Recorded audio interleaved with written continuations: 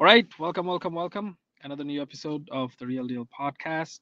Today's guest is Jose. You guys already know Jose, but we'll go into a little bit more detailed introduction to Jose later into the podcast. But because Jose is the guest today, I have a question for Jose right to begin with. Jose, if you had to like gun to your head, had to put a number on Girona's chances to win La Liga out of 100, you can put a percentage or out of 10, whatever you prefer. No analysis, nothing, just the straight out flat number. What would that be? 30%. That's where I put it. 30, right? Sid, what about you? Yes. I'm going to go with 20. Uh, I'm I'm gonna pick a very safe number between two, you two guys, and I'm gonna put it at 25%. Uh, and why? Mine would have probably been even lower than Sid's, but why I'm putting 25, I'm gonna tell that later into the podcast. But right now, we're gonna talk about La Liga. We're gonna talk about Real Madrid, Barcelona, Atletico Madrid, and all the big teams and how they're faring this year. So let's get on with that.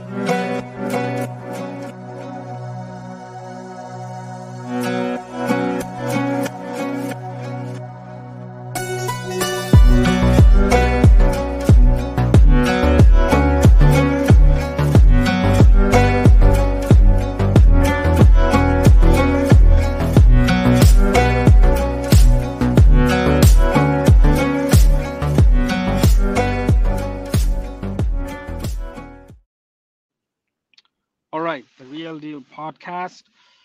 We're three. The three hosts today are speaking from three different countries. Um, currently in a very gloomy weather in Canada.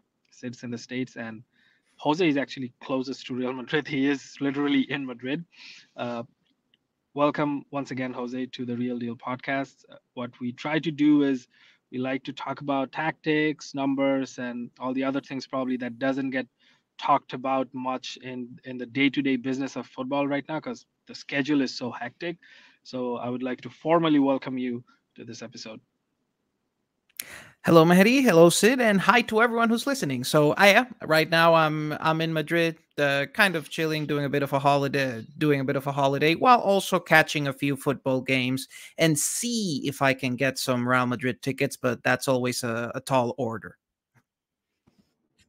yeah, Jose, we we wanted this episode to happen, and Jose always keeps up with so many teams in La Liga, and it just worked out that four days before the Atleti game and ten days before this Girona game, we get to talk about these big teams. You know, this is going to be big in the future. We can either call out Girona's collapse, correctly forecast their win, there, but um, you know, it's we're gonna lay it all out on the line here. I guess um, let's just start with Real Madrid, Jose. Like, what do you think? Like this team has blown away our expectations. I think that's become the theme of the last two months. We consistently are talking about what we're doing right. Um, but uh, we've also seen moments where the defense maybe has some lapses that we've also come to expect that aren't going to go away. Uh, how do you think Real? I guess just starting with Real, where do you think we're at? What do you think of Carlo's tactics? Um, how sustainable is this? A bit of 21 22 vibes. What do you think? That's an interesting question because it is of course, a different team from what it was in 21 22. Um, like you said, we weren't expecting that much, like things to go this well. And then injuries keep happening. And I mean, in the end, uh, Carlo's big merit, I would say, this season is the fact that he's been able to adapt to all the changing stuff. And it's like, uh, like for example, you listen to Barcelona fans saying, "Oh yeah, like Xavi was brought down by the injuries and everything," and there you have Carlo Ancelotti just dealing with whatever gets thrown at him this season. Uh, the guy starts the season like already without like his best center back, without without the starting keeper. You get no, you get no started starting level nine, and he still figures out something. Players get injured he still figures out something. He manages to keep like he puts in player like the squad players and they all delivering at, at a very good level. So all in all, it's been a tremendous management effort from Ancelotti. And of course, like some of the things are always there. Like, of course, the team is not doesn't press in the way a modern team would press, but I mean, that comes with the package of Carlo Ancelotti. Within with those constraints, eh, he's done a tremendous job just getting results, managing the squad, keeping everyone like focused and activated. And yeah, like eh, all in all, and uh, and we've seen like really some very nice, uh, like some very nice football at times, really. And and in some and of course, like it, at especially in the in the initial part, like you always wonder, okay, what if Bellingham hadn't gone on this ridiculously hot streak? What would have happened? What would have been the discourse around the team if he hadn't like if he hadn't had this kind of hot streak? But the nice thing is that Bellingham been on fire, like being on fire during that time, bought time uh, for say for Vinicius to recover from injury, for Rodrigo to get back his form, and now we are in a very nice situation where Bellingham is not, like just the team doesn't need Bellingham to score that often. Now he's in a position where he can do what we assumed he was going to do at the beginning of the season, which is be more of the supporting attacker for Vinicius and Rodrigo. So it's been and and all of this has been done as like a very natural evolution. Of course, it started the team started more perhaps more Bellingham centric, but now especially with the switch to, to, from the diamond to like more of a flat 4-4-2 with Bellingham on the left, it's all been like a very natural evolution and I do really look forward um, just like we saw like in the Supercopa against against Barca, like I do look forward to getting more of this Jude, Vinicius, and Rodrigo trio and see what they can do in Champions League. I would I would just like to add to that what Jose said regarding Real Madrid's chances in La Liga this season. Ali and I, uh, Ali and Sid and I did a episode uh, in the beginning of the Real Deal podcast, and we were discussing at that time Madrid hadn't played any of the bottom five teams of La Liga, and we were still like, we I think we were trailing Girona by one or two points maybe, but our chances at that time were projected pretty strongly because we hadn't, uh, quote unquote, faced the weakest five teams or the teams with the least amount of points at that time. Right now, we face or we see Real Madrid at another interesting juncture. I tweeted about this yesterday that in the entire month of February, we, we have a pretty hectic schedule. I think we have six or seven games in February. But the fun part is we are not leaving Madrid apart from the Leipzig game. All the other games are against Getafe, Atletico, and Rayo. Uh, obviously, Girona and Atletico are at home. I think Rayo and Getafe are uh, away games, but we're actually not traveling that much. So that and Sevilla is at home as well. I think we closed the month out with Sevilla. So in terms of travel wise, it's pretty chill, not too not too hectic, although there are a lot of games. And there is probably room to rotate a bit in within these games. And also the fact that right now we have played all of La Liga's top five. We only lost against uh, Atletico. We won against Barca away. We won against Athletic club away and we also won against Girona away. So we have the head-to-head advantage against all of them already. That that's just not three points. That's more than th- three points. And the rest of the games against Girona, Athletic Club, Barcelona, and Atletico are all at home. So that that's a good advantage to have too.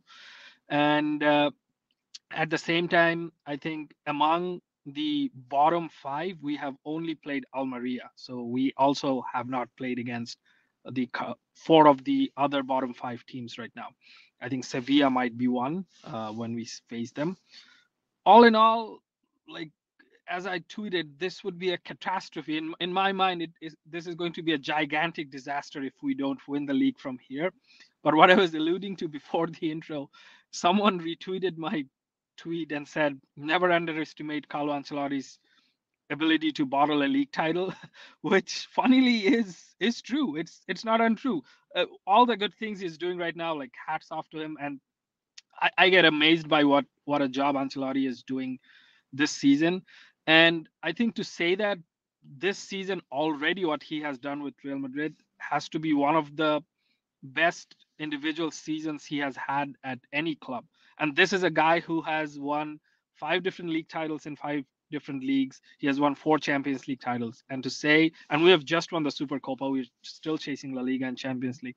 I think to say is that this this is one of the biggest things or one of the most impressive things he has done says a lot that exactly how much impressive this is because people who don't follow Real Madrid day in day out they don't know the key pieces that are that were missing from this squad at the beginning of the season.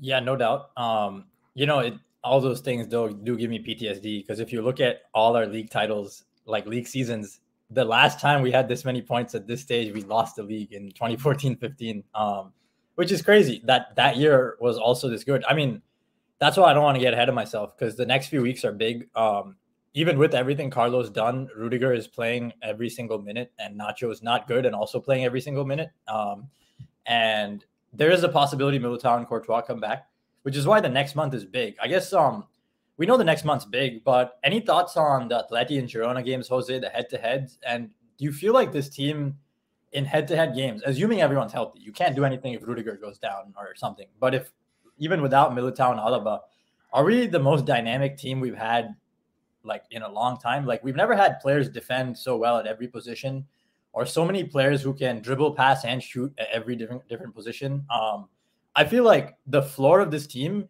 is actually comparable to some of our great teams, just in how in any phase you can't dominate them physically, you can't dominate them mentally. They're not like like Zidane's first team. You could press Casemiro out of the game, rattle us for 20, 30 minutes. Um, you know, obviously they were still better than most of our teams. And 21 22 Madrid, we don't even have to get into them. They would start so many games looking bad and throw the wave on at the end. Are we better? Are we more versatile? How do you see the Atleti and Girona games? And also, um, could you wrap up on how you see us doing in Man City games and other Champions League games, Leipzig?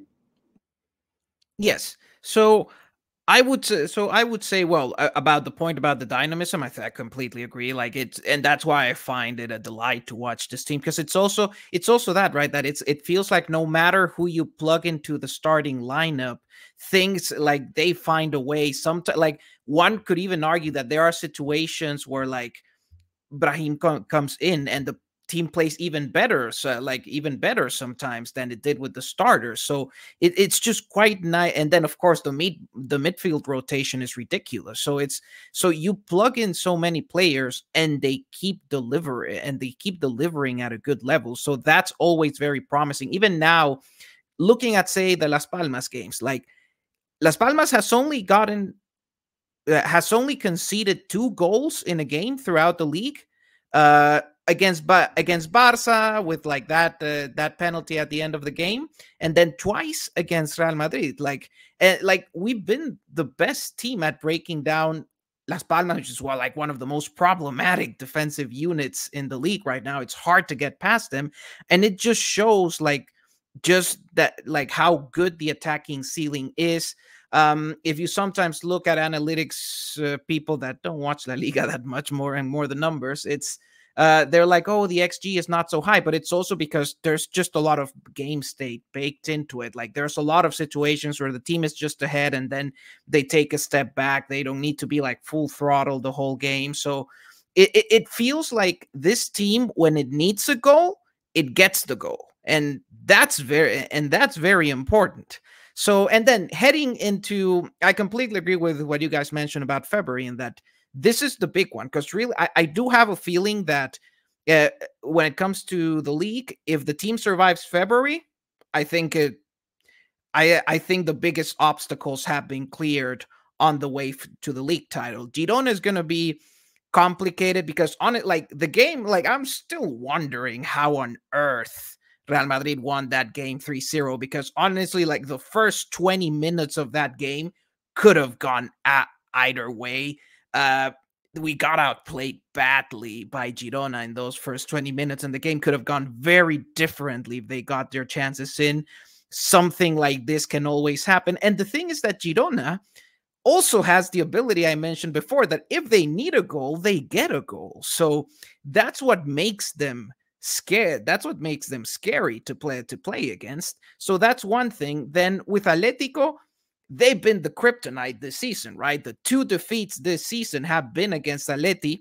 They are a team that, uh, well, yeah, you know, we're going there a bit later. The story of Atleti is that they don't defend well anymore, but they attack much better, and they know really well how to do damage to Real Madrid. So, uh, of course, the one the Girona game, I'm even a bit more confident in. The Atletico game, that's really uh, where the fear sets in because we'll have to see we'll have to see what happens there. We'll have to see what lessons have been learned from the previous defeats against Atleti. Yeah, that's for sure true. Um, yeah, and it's like Atleti just know us really well. Like I, I don't know, they always have. I mean, there have been very few moments when I felt like we had Atleti's number. I think um, there was a time under Zidane when we sort of did where we kept the ball like 15, 16. I just knew that we wouldn't um, get countered the way Barca and Bayern did in the semifinals and quarterfinals. I knew we'd play more conservative. But this year is one of those years where they are more of a bogey team, um, for sure. I guess um, before we move on to Girona Atleti, what do you think of um, Real Madrid against the Arsenals, the Bayerns, the Man Cities? Because um, I think if everything we're talking about comes to fruition, Girona is going to be a good warm up for those type of games where we need to hit big teams on the counter and prove we're more dynamic. And very few big teams have a front three as dynamic as Bellingham, Vinny, Rodrigo. Like three players who can dribble and move at such high speeds and still get on the end of chances and move off the ball. Um, super rare. Do you feel like this is more dynamic than 21 22, even offensively? I think so. Like I do think it's uh, it's more dynamic, and I think so. I am less worried about this team's ability to attack any side in world football. I think they can figure something out. My bigger concern is actually defense. Like uh, like that's where the scaling, like everything, actually looks fairly steady, kind of steady in some ways defensively in La Liga, but then you could like the scale. My scaling concerns come in Champions League where uh, how you handle certain situations, how does having Nacho in there, who like, okay, Nacho is not doing that well in La Liga. How would he do against top like Champions League contenders? uh level of attacks how can he deal with that it, like the box defending has been okay in La, in, in La Liga can it hold up at the Champions League level that scares a bit and then the other thing is what happens when you get pressed very aggressively by highly physical teams like Arsenal or Manchester City. Uh, of course, the team has the talent for it. It's just that because Ancelotti leaves even the build-up structure a bit more to player decisions, uh, are there situations where the players could be rattled against a very intense press with like very physical players like Arsenal and Manchester City? How do they handle that? Those are kind of my scaling concerns. That being said, I yeah, I even against Arsenal and Bayern, who uh, I think I'm kind of confident that something can be done. Manchester City continues to be the challenge where I'm like, I'm st- I still have doubts about how can uh, how can we make it past that. Yeah, that's why the Champions League draw is the biggest day for me because if City have to play all these tough teams and then play us, that would at least be manageable. But I don't think we can handle taking on Bayern, Arsenal, City consecutively that easily. Like we did in 21 22, but you never want to bet on beating like three, four big teams in a row. It's just hard. It's football, right? Um, the inherent nature of those ties means it becomes a coin toss at some stage. It's just top players, a lot of money going at it, hedge funds that have spent their whole lives like pumping up funds for those ties. Um, but all right, so let's just quickly talk about. So yes, Real Madrid's defense hasn't been as good. You can look at the XG. So we are at 20 XG against and 14 goals conceded. Fine, six above. 37 XG for, 45 goals scored. Fine. But then look at Girona. They've conceded 30 XG and only given up 25. So pretty much we're looking at all right, fine. That's that's not overperforming as much as us. They are only overperforming by five. But offensively, 39 XG and they've scored 52. Are Girona for real? Because like I thought about this all of winter break. I wanted to write an article and I just decided I don't think I have enough to say. They're like I think 20 to 30 percent. I think we were all in the right ballpark. There is a world where they continue this somehow, but for some reason, you look at those figures. I just don't think it can go till May, June. Like they lose to us. Are they really going to go steamroll every other team for three, four months, continue overperforming? What do you think? For me, well, it's uh, it's a tricky one because it, it's a bit what you say, right? Like you look at the XG, you look at the overperformance, and like every analytical, rational bone in your body tells you this cannot hold up for a whole season. But there have been teams that do it. So there's still like uh, may, maybe an irrational fear of like, what if they hit, if they can keep this up throughout the entire season. One of the kind of scary things about Girona and even their overperformance is that there's no like specific player uh, that has like say a plus five uh, uh, uh, goals over xG performance. It's all actually fairly distributed across the entire team. So it's not like okay, if one of these guys stops being on a hot streak, uh, the whole team comes down. No, it's the whole like. If, if I think if one of them comes down, other people in that team could pick up the slack. Yeah, yeah. About Girona, uh, what what's what's their number nine's name? Sid, can you quickly look up? I'm really completely blanking on his name and don't want to butcher it. Artem Dovbyk. Yeah, Dovbyk. So he he has he has been, I think, bit of a revolution because right now I think he's equal on goals with Bellingham, and he has provided six assists. That's that's crazy. Like he has more assists than Bellingham. Uh, Bellingham having the same number of goals is probably surprising too but yeah, he he has kind of risen up uh, to rack up those goals from time to time. Girona's rise, if we just want to draw some parallels with some previous La Liga teams like this, like Super Depor or even uh, Benitez's Valencia was probably bigger than present day Girona to begin with, uh, if I assume. Uh, how much of a parallel can we draw with a team like probably Leicester who has done this kind of a thing recently. Jose and said, well, open the floor to both of you. Leicester was my 1st thought. I just want to say um, Leicester is probably the closest thought, which is why it scares me. But Leicester did it in such a bad Premier League. I just want to say Girona are on a um, 95 point pace right now, I believe. So Leicester never got close to destroying teams like this, which is where there's almost a difference. I don't know if we've seen like something like this. What do you think, Jose? the same uh, same thing like there's the eh, like you mentioned I, I i don't think even in that premier league there was a team of the level of this realm uh, of the real madrid that we that that's this year um and yeah like it was more a team more it was a more i guess a, a way to call it like minimalistic in terms of attack you know? It was counter attack it's not it like yeah leicester city never dominated um never dominated teams in this way. So like what girona and of course like girona in some ways has access to certain talent that maybe that leicester city team didn't have but it's really at least in terms of how they play how they dominate it's another level compared to leicester city but i think that's and also would, the closest comparison leicester city had i would argue that leicester city team had better individuals than this Girona team, no, because like they had peak, peak, peak Kante. Uh, they had Riyad Mahrez probably also at his physical peak. They had Jamie Vardy again on, at his physical peak. So they had they had a few players who probably were would probably start for this Girona team anyway. Don't you don't you guys think? Yeah, but no depth. I think that's where it's different. Yeah. Like you look, this team has Cristhian Stuani yeah. off the bench. He's 37, but he's cooking like 640 minutes, only 790s, but he's um he's got he's got a few goals, nine goals and assists, right? Off the bench in the 790s. Um, yeah. Portu, Pablo Torre, and then um Yan Couto, Dovbyk. It's a it's a deep team, it seems like. Um how deep? Let's see, three, six, nine, 12. They seem to have a solid like three to five bench contributors they can throw on in any game. Um, what do you think, Jose?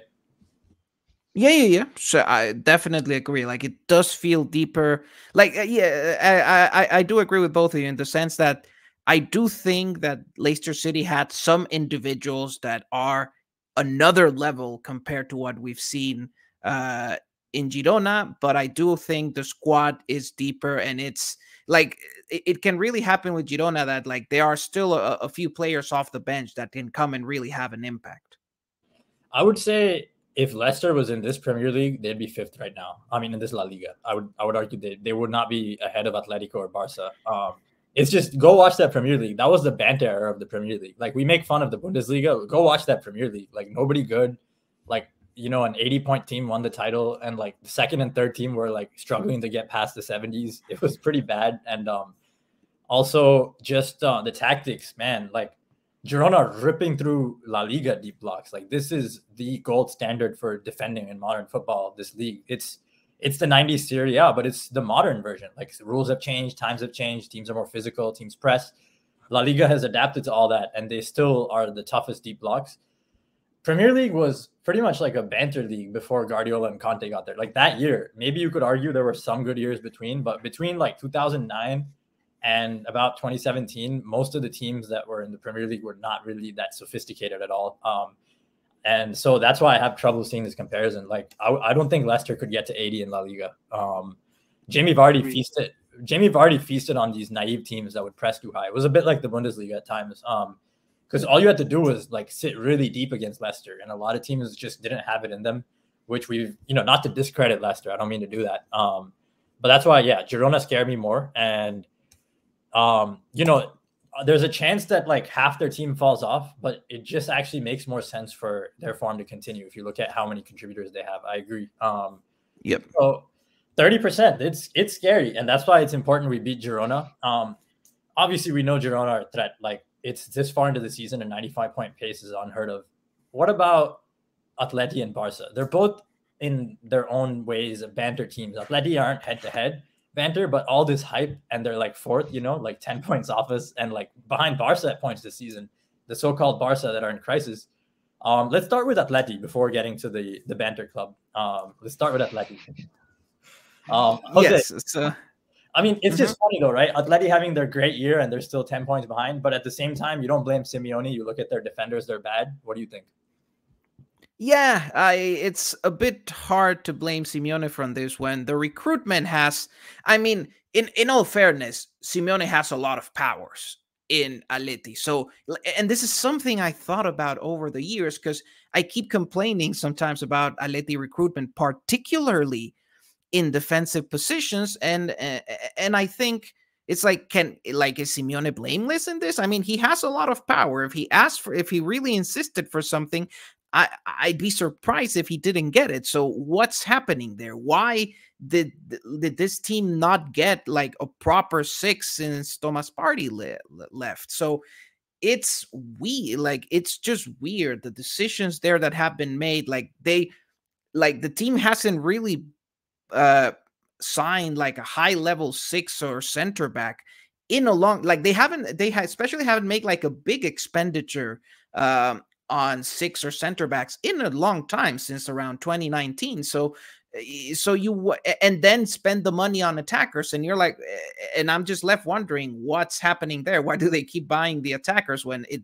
it's very clear that defense had to be reinforced and what we see now is ultimately the result of that like simeone for example last year he had returned a bit to the 442 trying to do more of a defensive plan this year he sees that once again, those defensive reinforcements, well, the six didn't quite didn't quite arrive. They tried getting uh, defenders with Soyuncu, with Azpilicueta, who haven't performed as expected, and that has basically forced Simeone to go back to the five-three-two and to a more possession-based plan, similar to the team that won the league in uh, in 2021. And uh, and it works and actually this 532 more than a defensive adjustment it's an attacking adjustment. It allows it optimizes better for the talent that they have at hand. It lets for example the wing backs Nahuel Molina on the right is not that good at defending.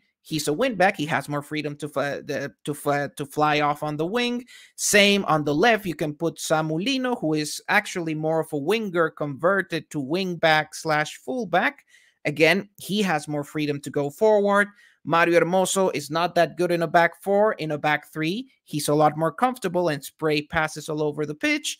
Um, and it also, that back three gives more protection to the midfield, who, again, Koke is not the kind of guy who can cover ground for the sixth position. So, in general, this lineup optimizes better for the talent that Atletico has at hand. It's, uh, it allows them to be better in possession. It's just that it's just limited by the quality of the defensive talent. Then Atleti go and spend now over the winter transfer market.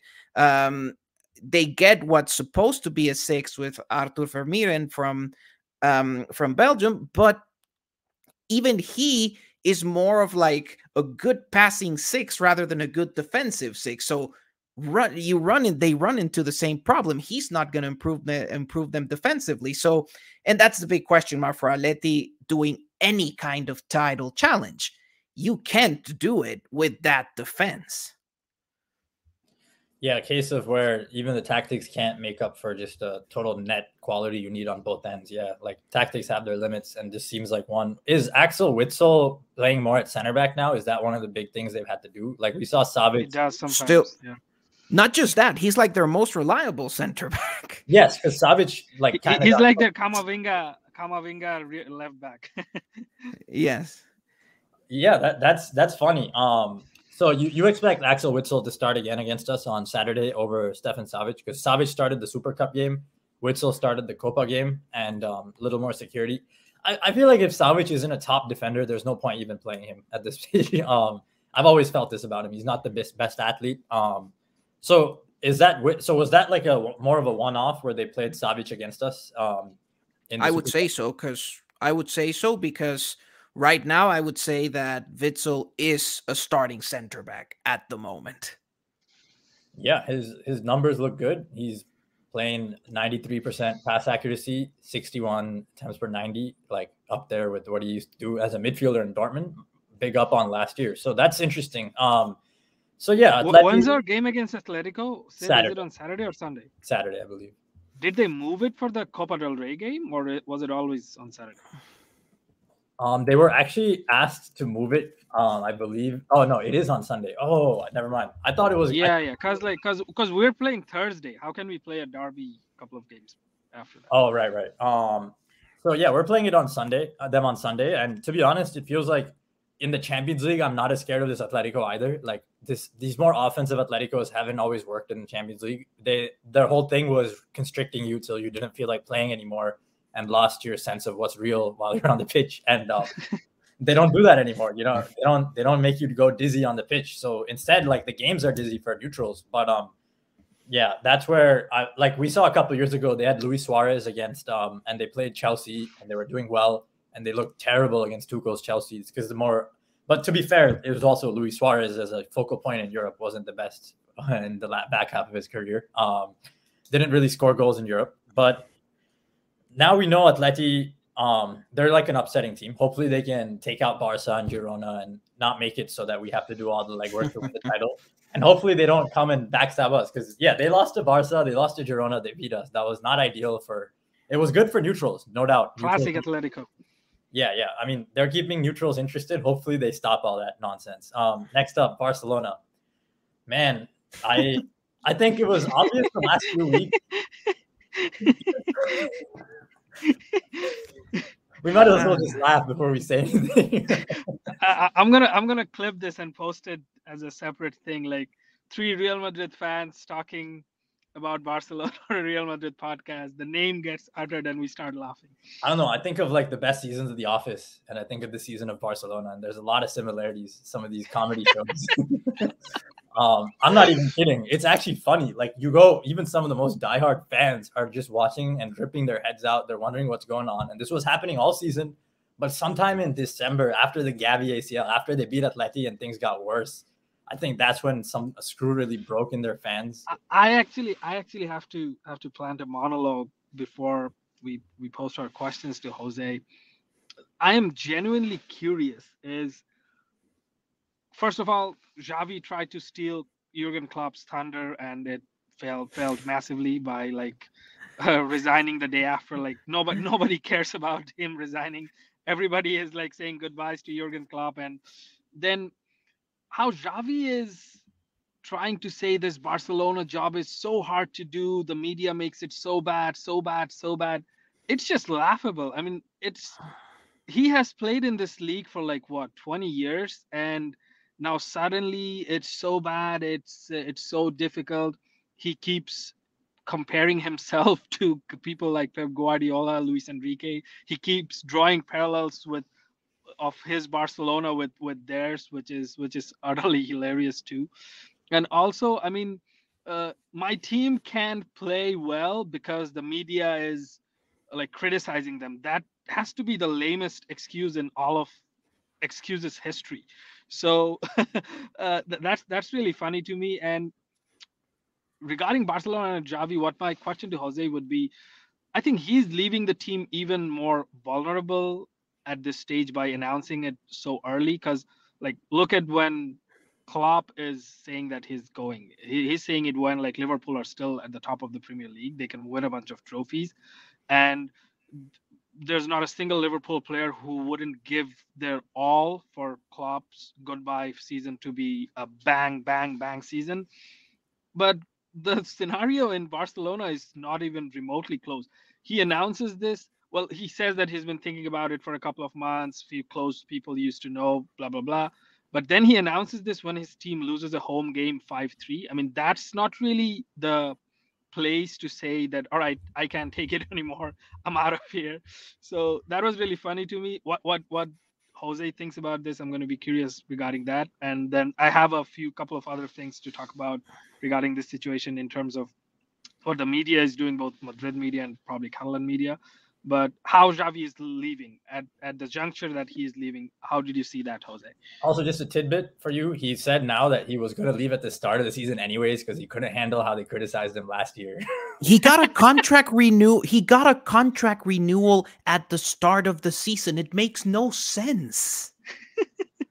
and a huge bumper, like a lot more money, like double, right, of what he was getting before, like eight million from. He was getting paid less than most top coaches, and this got him on par. So that's even funnier yeah, in, in general, like what look, like there's a lot of issues in the Barcelona front office, and I understand on one end, like the Barcelona fans that are like, okay, um, Xavi has been kneecapped by the front office, etc. The profile, like, like, like, sure, Barcelona did some interesting business over the summer, but Xavi has been actually been more about the pressing, good pressing than good possession, and you got him players for good possession. I thought I guess the objective was okay, we were kind of not good in possession. We're going to make ourselves better in possession.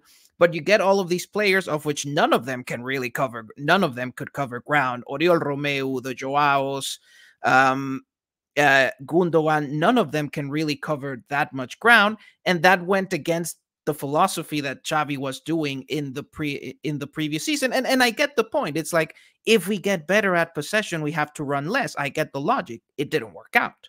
And now you end up with this team that still is not that good at controlling games and is not good and doesn't have the legs to press and track back and run anymore like it did last year. So you end up getting the worst of both worlds. And that's been the tactical story of Barcelona this season because Xavi hasn't been able to resolve that. Gavi was able to plug in some holes in this defensive structure and keep it performing at a certain floor he got injured the whole thing came crashing down and that and then you get like this disaster january for barcelona.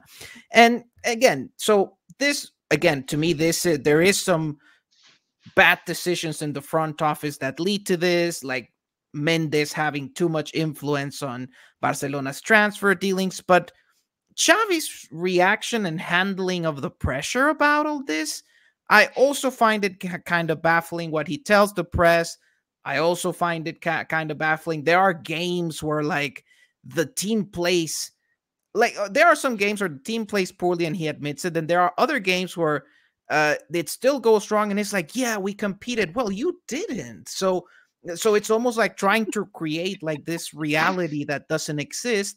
And then the whole press complaints. If this guy got the kind of press that Koeman and Valverde got, he had been gone in two months.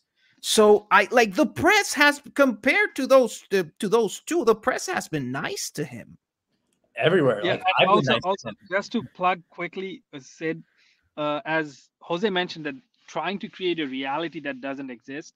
That's actually everywhere in Barcelona, even in the fans, because the fans decided the moment Xavi took charge of the team, the fans decided that he's at least as good as Zidane by the time Real Madrid fans got to know that okay, Zidane is good, he has al- he had already won a Champions League title. But before Real Madrid, because Real Madrid had a former club legend who took charge of the team and became extremely, extremely, extremely successful. Now it was on the Barcelona narrative that okay, uh, that's decided that Xavi is as good as Zidane anyway. Uh, he just now has to win the trophies, but he's just like not winning the trophies that you have to win to prove that you are as good as Zidane. That was that was the other funny thing that I uh, caught. And also, you mentioned like Barcelona coaches. Remember how Zidane was treated by the Madrid media in September, October, November of 2020 20 when we were almost playing the Europa League that that was because we were almost playing the Europa League. Xavi has played in the Europa League twice. So so the the as Kiyan says, like always shifting the goalposts, always shifting the narrative. It's it's amazing. It's it's just something else. So, so, sorry to interrupt you back then. I think the biggest red flag looking back was like his performance in his first months were good. The coaching career was good. The marketing was amazing, no doubt.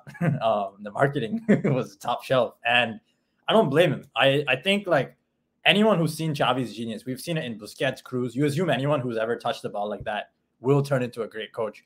But why was he at Al Sadd all those years? I think that's the first thing I'm, I'm just wondering. Why did he spend six years there while all these other coaches go to a B team? Zidane went to Real Madrid, Castilla. Pep was at Barca B. Look at where Alonso's going today. So that and Arteta was assistant at Man City. And then two, why is his brother his assistant coach? And like why is there no thought? Like you gave him a bumper contract, you spent 40 million on Lewandowski. Just go change the medical staff or bring on Juan Lillo, Domènec Torrent. All these guys are out there. Like you can go sign them. They but instead they're trying to court more Bernardo Silvas and trying to fix the problem with more players. So um, I think like there is a front office element, but also it's funny how Xavi's made excuses. Um, my I just want to say my evaluation of Gavi has gone up a lot in retrospect. um, like he was glue, and you could tell watching like what the hell this guy is in every duel. But now it's like he was basically like N'Golo Kante mixed with like a controlling midfielder for what in terms of impact. If you put Pete Kante there, he held it together. And um, you know, it's shocking how there's been no possession coaching from Xavi since Gavi went down. Like anytime something happens, it's like Pedri pulls it off through instinct. But where is the deliberation? Where is the little side to side give and goes that open up the defense? Where are the overloads that drag defenders out of the area? It's all like like a big U where they pass it back and forth. It's like when I play FIFA and don't know what I'm doing. Um, it's very static, yes, and that's and I mean that's the great irony of Xavi as a coach. Like he's struggling to coach possession principles, Xavi Hernandez. So and it's quite interesting because when you follow like the three years of Xavi's tenure, the the first version of like, like that first half season of Xavi's Barca was a bit be- like was better in possession because it had the veterans these guys who have like possession principles drilled into them for many many years you had the old alves returning you had alba you had piqué uh, you had busquets these guys get these guys get it and didn't need any coaching to do good possession play. And that's why that version could move the ball a bit better. Then the veterans leave, and Xavi's left having to coach and teach principles to the younger players. And that's where things don't quite work. The biggest red flag might have been, I think, like you couldn't see it as a red flag, but they played Munich, Bayern Munich uh, away the first match day of the Champions League um, with Lewandowski, Araujo, Koundé. And for 40 minutes, they made Bayern look completely rattled. Kimmich looked angry, upset. And then they just fell apart like that. And for the first 40 minutes, the possession was really good. Lewandowski missed two open chances point blank against Neuer. And then the collapse was pretty insane itself. The collapse was like just unnecessary. They didn't have to fall apart like that. It almost felt. And it's like they just chose to. And um, maybe that should have been the first red flag. It's just like at that time, um, you know, they got some injuries to their center backs. They lost the Clasico and they picked it up in January. Remember the Super Cup game in January of 2023? Was that looking back, was that more because Real Madrid just had no fitness um, that we just weren't like ready after the World Cup? Or was that them? Now actually- I'm absolutely sure that is exactly why that was. What do you think, Jose? Uh, I don't remember that much going into we, we that game. The, the game where Carvajal got cooked by Balde. Yeah, yeah, yeah, yeah. No, like I, I think my memory, like I, my defensive mechanisms have tra- have been said, and then I try not to remember that that game happened. But I think the physical part is a is a factor, especially when you consider that like what made that Xavi team good was the physical intensity and the focus, and that's kind of the whole uh, the whole issue. Since the possession was not good, the focus was on the pressing, on the focus, on the intensity. You cannot keep that up for for that long, and that's the thing. They burned out in term mentally, physically in this past season. This season, they just can't do it at that level of intensity anymore. And it's not for lack of trying. Like they literally came yeah. back from 2-0 down to go up 3-2, and they kept giving it their all. But how many? And I know Albert Blaya has the best line on this. When you play a final every three days, like it's just not sustainable. They treat every three days, they're running as if it's a final, and like unless you're Zidane. well, see, and you know what's really funny about this about Zidane? Actually, the last team I remember, um, so October 2014, we had just beaten Messi, Neymar, and Suarez 3-1, and I read an article saying wow, Real Madrid, but they can't do this all year. It said they ran too hard. No way James, Isco, Modric can do this all year. I remember reading it, dismissing it, and that season, that was a very prophetic article. Actually, they couldn't do it all year. And even James didn't look like the same box to box player he looked as in the first half of the season in the second half. Like he wasn't as effective defensively. And I get that vibe from Araujo, Balde, Koundé. It's like they've been trying so hard. There's no more energy in the battery pack but they're still giving it 100%. And like that's when you get all these silly cognitive mistakes, or you go from 2 0 to 3 2 because the psychological effort is there, but then you still concede three because you're cooked physically, mentally. You're just doing too much. You're trying too hard. Um, and on top of that, um, it seems as if, um, like, what's it called? The the mistakes, like, um, sorry, I actually lost my train of thought. I had a key point there, but they they're just too tired. Like there's no returning to where they were. I think like when Xavi first got there. Oh, what I was gonna say is if you announced you're leaving and they had some more juice, fine. But now they're gonna like give it 200 percent when they're already on five percent. So how's that gonna work? Yeah, and going back and going back to this point uh, that that uh, that Mehdi brought at the beginning is like the announce the timing of the announcement i find it completely weird too because that was when this happened that was exactly my first thought okay cool. How are you going to keep this team motivated to stay uh, until the end of the year? Can this guy keep the team motivated until the end of the year? They're already not fit. They already are out of energy. And now this is like a hit on the me- on the mental side. Like, I like in a way, like, does he expect really to have like this club effect that it's like, oh, now the players are gonna are gonna play harder than ever for the gafferness? I don't know, man. In this situation, it's a bit difficult. If I look at this move, though, at Xavi's move from a political perspective, uh, what happens now is that this is Xavi's like Xavi has been the lightning rod for the criticism for the criticism lately. He cannot handle it, and by saying, "Okay, I'm leaving," he's going to redirect that lightning into to Laporta. Now Laporta doesn't have cannot use Xavi as a shield as effectively as he uh, as he did before, and I think a lot of this is also more politically motivated. Also, also because he said he's gonna leave by the end of the season, no matter how bad things get, Barcelona can't sack him now because like he's a club legend. Uh, I think I think they still might end up doing it. Oh, oh, sorry, Sid. They, I don't think they can afford to either. So I want that's where like yeah. like it's too strong. Like, like, all right, I'm gonna resign. I'm gonna let you keep your money, do everything. You better get it right. So he, I don't think they can afford to sack him, and I think that was a big motivation. And also, like apparently, he said he's not gonna take his last year's salary. I don't know if it's verified or not, but apparently he said that. I don't. I have no idea if that's true or not. So yeah, eh, they can't sack him. But what about like since we are going to transition into I think Athletic Club anyway? Athletic Club have been enjoying some good form, and seeing Barcelona and how their fixtures are, they still have Real Madrid, Girona, Atletico and Athletic Club to play again in the league. Uh, Jose and Sid, do you guys see Barcelona out of the top four? Is that like what percentage of chances would you give to that? I don't see it. Um, and, you know, as far as galvanization, just a brief touch on that. Uh, I think what who they galvanized was Lewandowski because he knows like Xavi was his shield that brought him there. Because all the reports are that he went mm-hmm. and told, cried, and asked Xavi to stay. Then he threw a lunch with everyone and tried saying like, "Let's make the season good."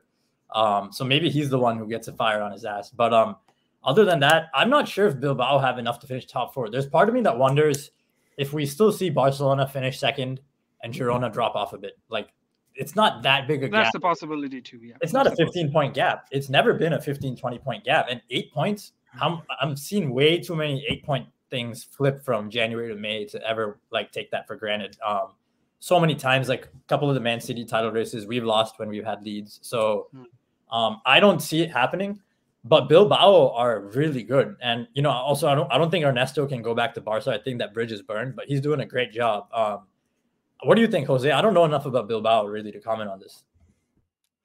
Yeah, like if I have to look at the chances, I'd also be a bit similar to the Girona thing. I see it a bit like 70 th- 70 30 Barca stays in Champions League spots and simply by a matter of talent. Like it's just uh keeping for Ale for Atleti keeping that up is going to be more diff like and especially like it- it's just one of those dynamics, right? That right now they're like uh hitting cruise speed, they're flying high, everything is going great. You can only go down from there. And I feel like Barcelona, I think it should go a bit up from like I don't think it's going to go like a lot up, but it could go a bit better from from uh, from now. So eh, so I do see it uh, I still see Barcelona in uh but it'll be interesting to follow the race. I mean the story the the story uh, player and tactical story of athletic club this season um has to do well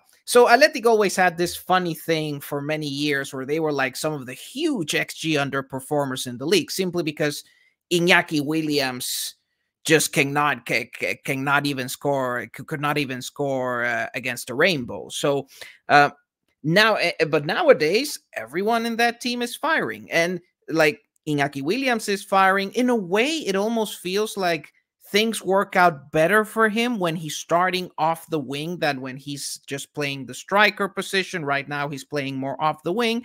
And of course the big uh, the big big improvement talent wise is that the two big young talents Sancet and Nico Williams are really start like have really started to fire this season. Sancet being that sneaky player that always receives well the, between the lines, acts as the glue in the attack that connects everyone. Um, and then Nico Williams being like the dribbling match decider who uh, in previous seasons he had already been good. You could already see that there there was a great dribbler there, but he's been adding elements to his game. Uh, the off ball runs had improved last year, but he was still missing the end product. This year, he got the end product, and he's adding like uh, uh, I think it, it was a couple weeks, uh, a week or two ago, where he scored like uh, where he like where he scored that goal against Barca that was basically kind of a trivela outside foot kind of thing, uh, where it's like okay, if this guy adds ball striking already to his capabilities, to like. Uh, 60 uh, by the way, 60 million. I was gonna say he he's got a clause. Yeah, but he's got a release clause. This guy I think goes out because of that for like 50, 60. It, at his current level, it's kind of a bar, it's kind of a bargain for everyone in Europe. So, anyways, um, so that's the current situation. The young talents are firing. Um, they also have in Iñigo Ruiz de Galarreta in, in midfield, they have uh, a bit more of um I wouldn't call him a playmaker, but at least uh, a more secure passer that they've been lacking for a while. The defensive part, like the defensive pairing with Inigo leaving, I was fearing the worst for Athletic, but actually the defend the central defender partnership of Paredes and Dani Vivian has worked really like, they are young and it's but it has worked really well. So all in all, everything looks good for Athletic. My big fear is just they're already kind of at the top of the wave. Can they stay up there or is really down the only direction they can go? you know, just a funny joke I have to crack, but Inigo leaves Athletic, does well for Barca. Barca still having a bad year. Eric leaves Barca, does better for Girona, but Romeu goes the other way and he's trash for Barca. It's just funny how it works out. Um, it's just funny that these small teams are handling some of these departures better. um, Yeah. But hey, um, that that's good to know. And I, I just want to say, Nico Williams, man, I mistakenly compared him to Bryan Zaragoza. And Bryan Zaragoza is a great player, but Nico's blossomed into something more. This is like Yeah. this is a proper like explosive triple threat winger. Whereas like Zaragoza is good, but he doesn't have that first line speed that Nico brings. And Nico's obviously just as talented on the ball, ball striking, all these things. Um, well, Bilbao, I'm glad they shocked Barca, and you know, I think two Williams brothers is much more terrifying than the one on the wing. Yeah. Because I always felt Inaki was a tough player to play against. And you put like a better version of him, who's his brother, and like then that's crazy. Because you'd say he's a better version, correct, than Inaki?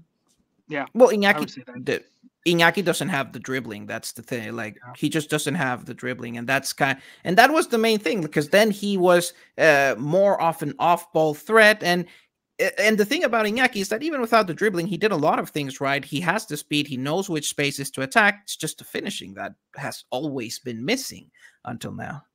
I, I always used to get Iñaki in my ultimate team because like he was super fast, he was super cheap to begin with, and uh, I think I, I had him in my ultimate team for for, for quite some He, time. he is an ultimate team legend. Um, Yeah. all right. What about Real Sociedad? You know, a lot of talks of Alguacil finally maybe getting his big move this summer to Barcelona.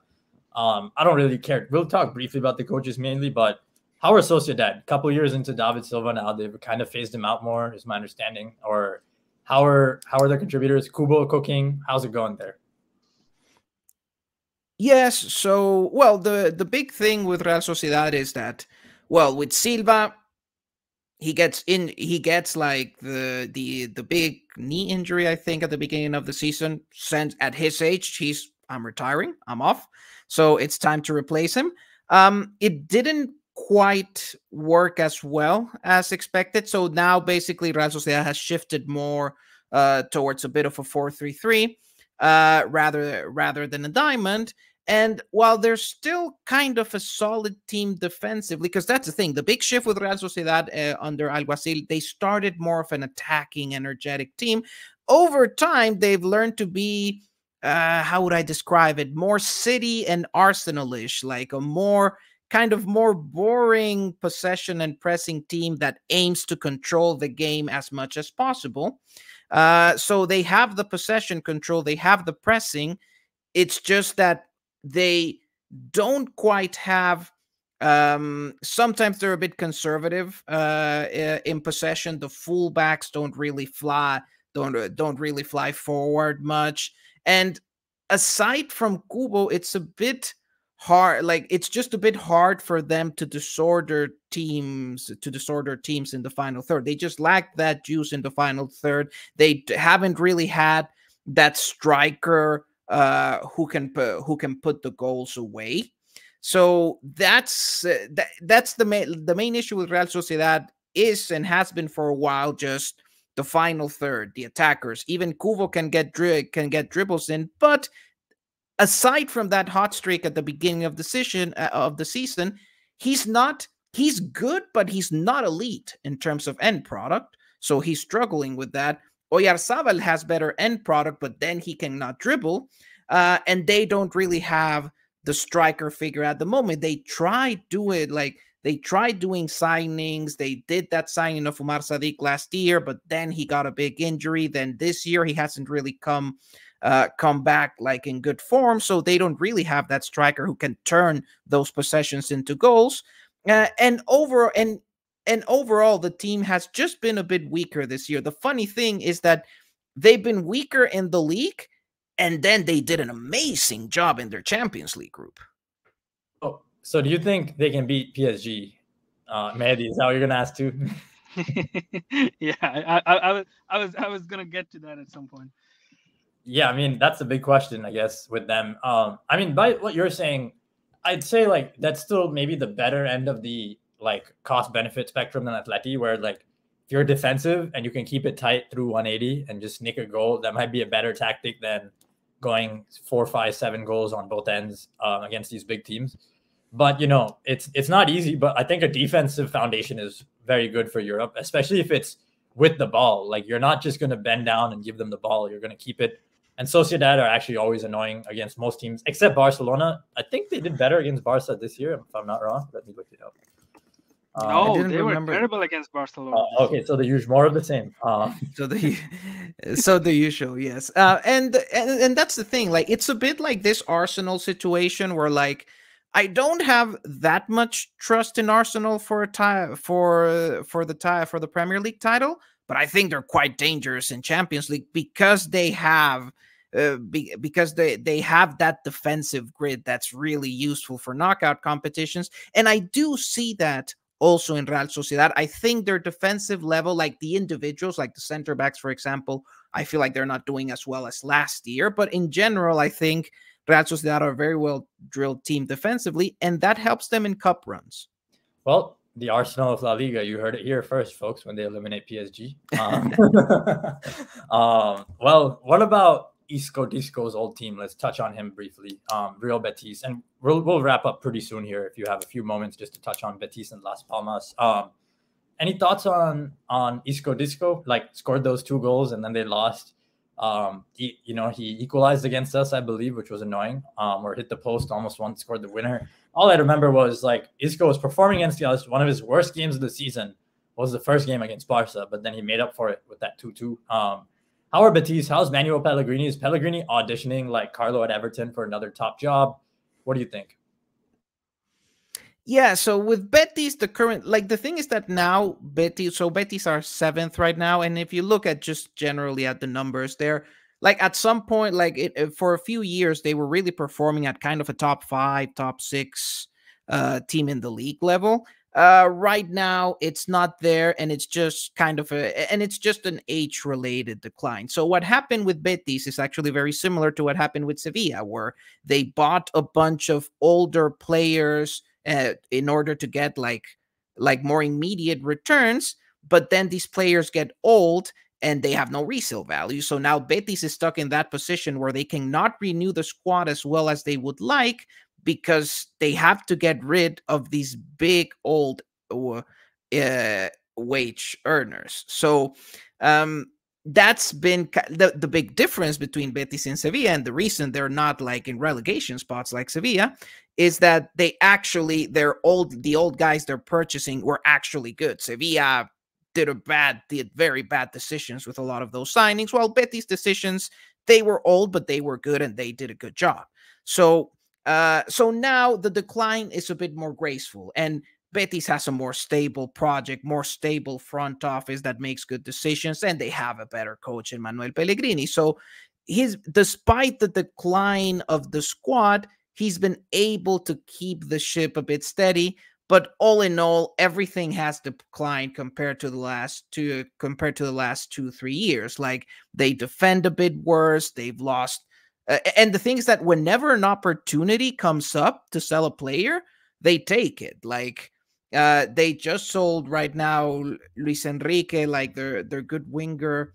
Where was it that? Oh yeah, they're selling it. Uh, I think they were selling him to Botafogo, like to the whole John Textor group, and he might make it make it to one of his other teams eventually. But like they sold there, they sold one of their center backs to Saudi Arabia. The defense got worse. So all in all, uh, just Betis right now is in a position where they really have to renew the squad, and right now they're just selling away as much as they can in order to renew. So that has an effect on performance. Pellegrini's doing the best he, and even now they sign Isco because there's no money to make to spend on like a big young attacker signing. So that's kind of the position they're still stuck in. They are simply less good than in previous years. Noted. Um, what about Las Palmas with Pimienta? Talk of the town. Um, you know, we Sid Lowe said something about how it's like watching Brazil play, and I quote tweeted him on the Real Deal account, like saying, um, you know, Real Madrid are like Brazil, and he said responded saying the wrong you had the wrong team. I'm like, are you talking about Las Palmas? Are they that fun? Um, I watch them here and there. I wouldn't I won't claim to know too much about them. What do you think about Las Palmas, Pimienta? Mm, they are to me, I wouldn't call them Brazil fun. Let's put it that way, because they are another defensive possession team. So the most interesting thing uh, I, I think about Las Palmas is that they've shown because when I look at say your Arsenals and your Manchester Cities and their kind of conservative possession style, as I would call it, I think okay, can like can smaller teams uh, apply these principle uh, apply these principles and control these games like that they don't uh, do they really have the talent and actually las palmas has been able to do that and that's the fun thing about it because they even have like the whole thing where they build one of their fullbacks is more conservative and stays back and forms a back three. Just uh, I see a lot of elements that I feel have been inspired by the Pep Arteta train of thought um, um, in, in, terms of controlling games, defending, defending, winning duels.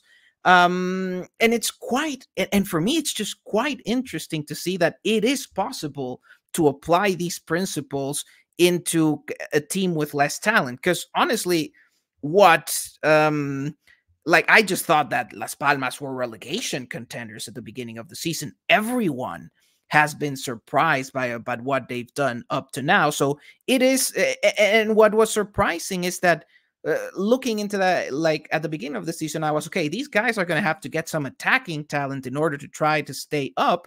And actually, the the, the improvement has really come in defense. They've gotten they were like this expansive possession team in second division, and now they come to the first and they actually become a really solid defensive team. And that's being the surprising part. Now, as far as Garcia Pimienta, he coaches good possession principles uh, in a way, but I would I would say that I find his teams rather boring in the final third and that's the thing like it's uh, it's real now this is really like a death by possession team that they pass the ball around and you're like go shoot do pass forward or something it's that's the that's the main thing it, all of this defensive position help, possession helps them control games but they are i think still the poorest or one of the top 3 poorest attacks in the league they barely generate anything in attack and while their defense is good, it's been sustained by their goalie, Alvaro Valles, who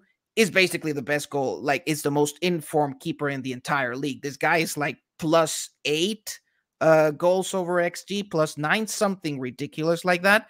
So their defense is good, but it's kind of hidden by the great level um, of their goalie. And all in all, about Garcia Pimienta, say if he took on a bigger role, um, I'd say Barca, my concern would be the attacking side. Like, can he like can he can he coach and have and build a team that's uh, a bit more aggressive going forward? Because Las Palmas is most definitely not aggressive going forward.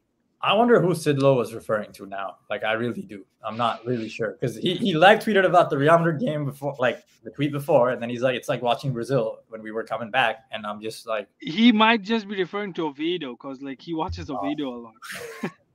well, or it's also just the color. You know, it's just the colors of the uniform. Yeah. I think Color that might have been the reference, the actually.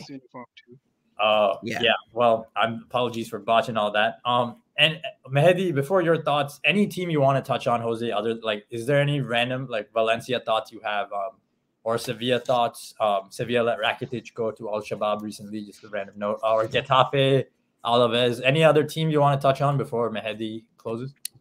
Probably just Valencia in the sense that look, after what happened with Vinicius last year, I was rooting for these guys to like go to the very bottom of the table this year. And every year it looks like this is the this is the year it's gonna happen. But like given their given their just bizarre ownership. Um, every year it looks like it's gonna be the worst year, and somehow always they find a way uh to claw like to claw their way out of out of that rut. And Eh, like it's just a very insane cycle when you're a Valencia fan because it's like because uh, at some points it's like it's so over then they kind of then they still sell more players hire a new coach the coach figures out a way to get them out and then Peter Lim goes and kneecaps the new coach like the new coach again and then the team uh, goes into a run again. It's a very weird cycle and I it's hard to understand the ownership there. But anyways, um, so Baraja has has actually revitalized Valencia really nicely. It's like it's a more standard four for two, sometimes more counter attack, sometimes more counter attacking. But he has like a great crop of young play uh, of young players that are quite fun that are quite fun to watch. So it's been one of the most pleasant surprises in the league. Yeah, they did it. We we have to have Lucas on the podcast the day Valencia actually goes down because Lucas, I think among all of us, Lucas hates Val- Valencia the most. Yeah, I mean, even when you mentioned it, I thought of, when you mentioned the Vinny incidents, I immediately thought to how Lucas said they hate us out there. um, and yeah, it, it is cool that they did get that equalizer against Barcelona. Barcelona went up 1 0 in December against them, and they equalized in the 70th minute. And, um, you know, Lunin made some good saves, and we got the three points. So hopefully they're not going to come and screw with our title race as they have before uh, this year.